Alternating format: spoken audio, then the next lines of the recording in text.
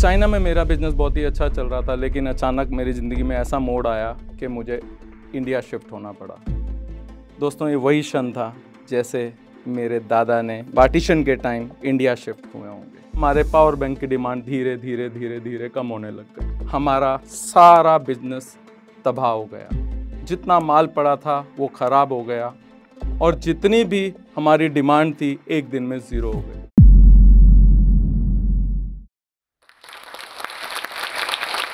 मेरे दादाजी पाकिस्तान से माइग्रेट करके इंडिया आए थे। जी हाँ पाकिस्तान से।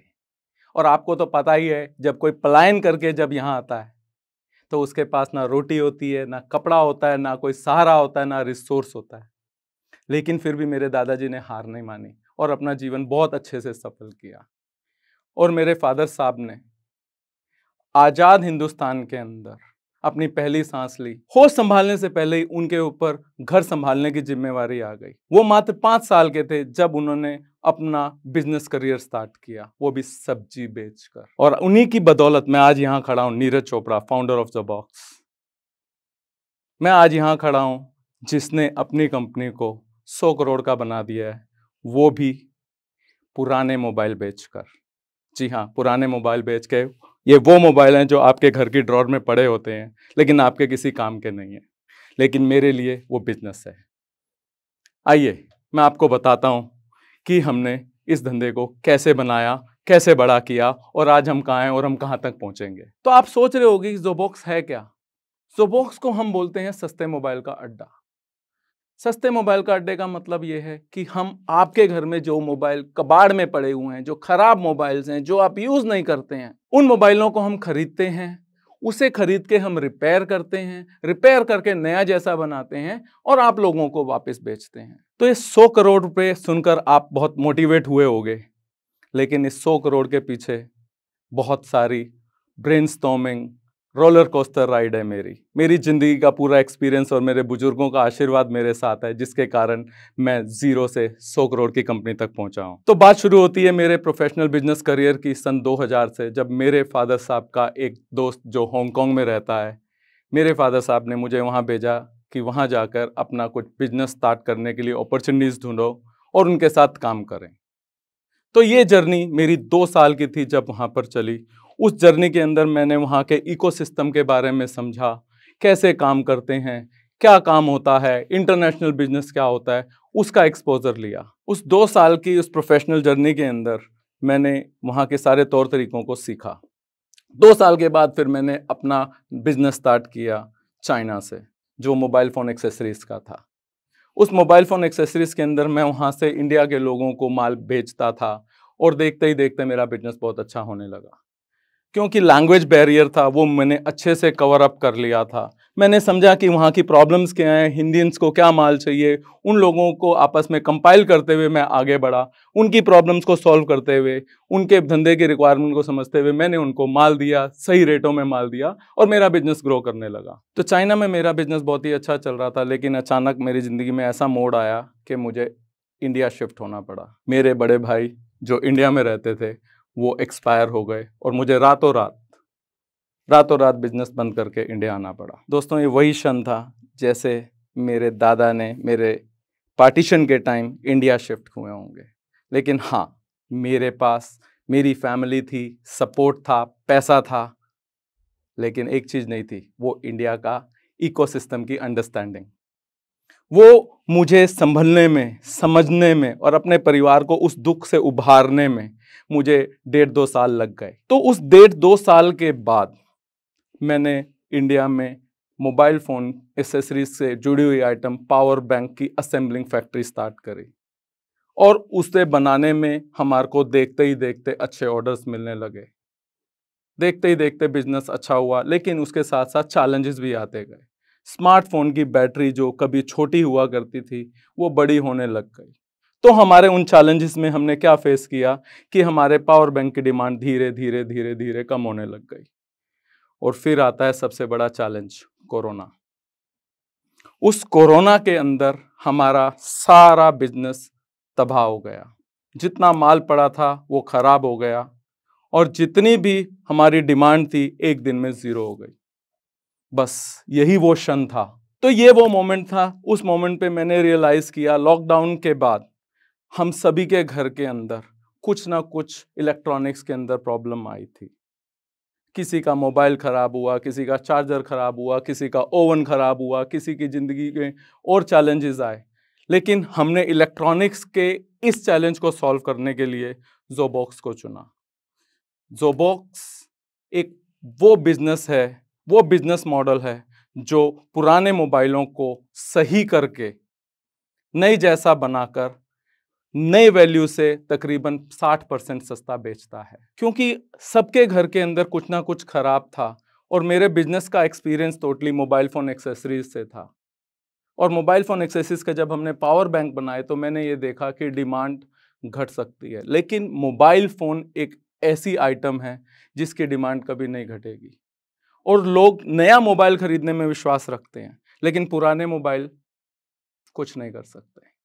तो यही हमारे लिए एक मौका था कि आप लोगों के पुराने मोबाइलों को हम खरीदें और उसे नया बनाकर आप जैसे भाइयों को आधे दामों पर दे दें। यही वो मोमेंट था मेरी लाइफ का, जहाँ पे मुझे जोबॉक्स को शुरुआत किया और अपने पीछे वाली ज़िंदगी को पीछे छोड़ा। तो ये मेरे लिए एक तरीके से अच्छा भी था और एक तरीके से बहुत अच्छा भी था। तो हमने जोबॉक्स की शुरुआत 2021 में करी, पहले पाँच एक्सपीरियंस स्टोर्स खोलकर डेढ़ साल के अंदर ये स्टोर पाँच से पंद्रह स्टोर हो गए।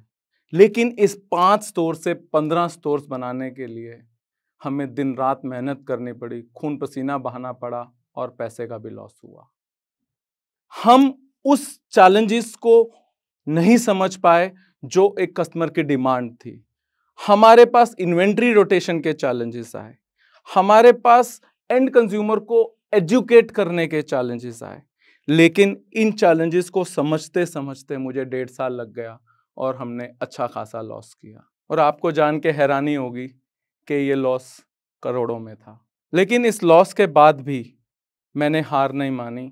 हमने यही सोचा कि हम अपने बिज़नेस मॉडल के अंदर क्या चेंजेस करें, जिसके कारण हम गेम में भी बने रहें और आगे भी बढ़ें।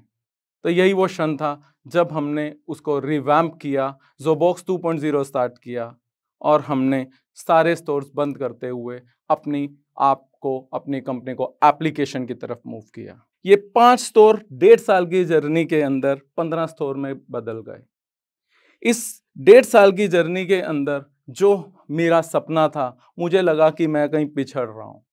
तो हमने अपने बिज़नेस मॉडल को रिस्ट्रक्चर करते हुए ज़्यादा ध्यान देते हुए हमने एक चीज़ का कॉल लिया कि हमें अगर आगे बढ़ना है तो हमें कुछ अलग करना है। वो अलग क्या था? वो अलग था, हर आदमी के शहर तक, गाँव तक हमें पहुँचना था, जिनको हम प्रोडक्ट के बारे में बता पाएँ, उनको प्रोडक्ट मुहैया करा पाएँ। तो यहाँ पे हमारी शुरुआत होती है, हमारी टेक्नोलॉजी मेरी टेक्नोलॉजी टीम जो थी, उसकी एंट्री होती है और हमने एक एप्लीकेशन को वॉर लेवल पे बिल्ड करना स्टार्ट किया।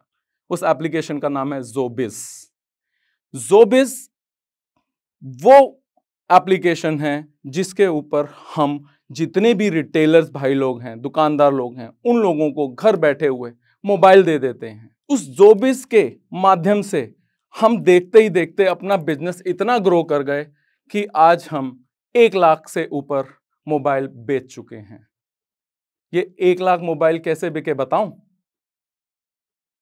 एक लाख मोबाइल बेचने के पीछे सबसे पहला कारण हमारे सभी लोगों की सेटिस्फैक्शन वो क्या है? हम मोबाइल पर 12 महीने की वारंटी देते हैं। दूसरी बात दूसरी बात, हम अपने सभी रिटेलर भाइयों को जितने भी दुकानदार हैं उनको, उनकी दुकान के ऊपर फ्री में डिलीवरी करते हैं।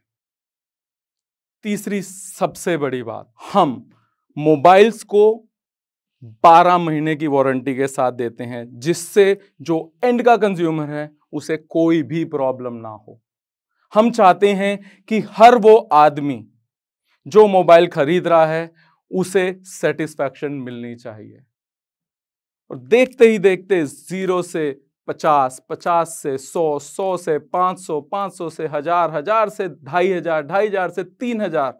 तीन हज़ार रिटेलर्स की कम्युनिटी जोबॉक्स के साथ आज अच्छे से सेटिस्फैक्शन काम कर रही है। तो सबसे बड़ा मील का पत्थर, सबसे बड़ा माइलस्टोन क्या है जोबॉक्स के स्केल होने में?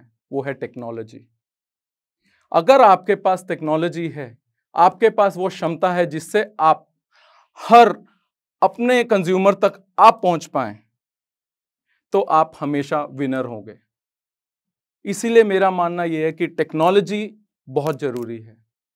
आपके पास राइट प्रोडक्ट राइट मोमेंट पे राइट प्लेसमेंट करना ज़रूरी है। मैं ये चाहता हूँ कि हमारे जितने भी लोग हैं, जितने भी यंग एंटरप्रेन्योर्स हैं, जो ये सब देख रहे हैं, उन लोगों को ये पता होना चाहिए कि हमारे को सबसे पहले रिक्वायरमेंट क्या है। हमारी प्रॉब्लम स्टेटमेंट क्या है? अगर हमारे पास वो प्रॉब्लम स्टेटमेंट है, अगर हमारे पास उसका सॉल्यूशन है, और वो सॉल्यूशन के अंदर हम टेक्नोलॉजी को डाल देते हैं तो दोस्तों स्केल अल्ट्रा स्केल है। आज मैं एक जिद लेकर यहाँ खड़ा हूँ। मेरा एक सपना है कि मैं हमारी कंपनी को एक लाख लोगों की कंपनी बनाना चाहता हूँ। और इस एक लाख लोगों की कंपनी के लिए हिंदुस्तान के अंदर जितनी भी तहसील हैं, वहाँ पर मैं अपने जोबॉक्स का एक आदमी डिप्लॉय करना चाहता हूँ, जिससे वो एग्जिस्टिंग मोबाइल फोन्स के धंधे में जितने लोग हैं और जो नए नए लोग हैं, जो नए गाँव में लोग हैं, जो काम करना चाहते हैं, उन लोगों को एक अवसर देना चाहता हूँ कि हमारे साथ जुड़ के वो पैसा कमाएँ। मोदी जी के, हमारे प्रधानमंत्री के सपने, डिजिटल सपने को साकार करें और जोबॉक्स उसमें एक एक रोल प्ले करना चाहता है, एक वाइटल प्लेयर बनना चाहता है। दोस्तों, जितने भी लोग इस कहानी को देख रहे हैं या जितने लोगों तक ये मेरी आवाज़ पहुँच रही है, कहानी पहुँच रही है, मेरा उन सभी यंग एंटरप्रेन्योर्स के लिए एक बहुत अच्छा सा प्यारा सा मैसेज है कि कभी भी अपने बिज़नेस मॉडल के साथ ऑब्सेस नहीं होना है।